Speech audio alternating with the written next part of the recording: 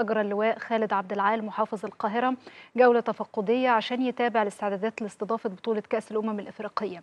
وقال إن كل مستشفيات القاهرة هتكون في حالة طوارئ خلال البطولة اللي هتبدأ يوم 21 يونيو القادم وهتختتم في 19 يوليو خاصة المستشفيات القريبة من الفعاليات.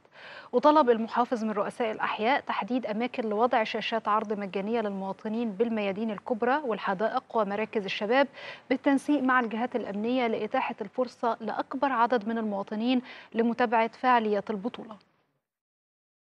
وجه محافظ القاهرة رئيس هيئة النقل العام بإزالة كافة الإعلانات المشوهة الموجودة على الأتوبيسات ولصق شعار البطولة بدلا عنها وتخصيص أسطول كامل لا يقل عن 600 أتوبيس لخدمة آه لخدمة نقل الجماهير من الميادين الكبرى والمواقف العامة إلى أماكن إقامة المباريات.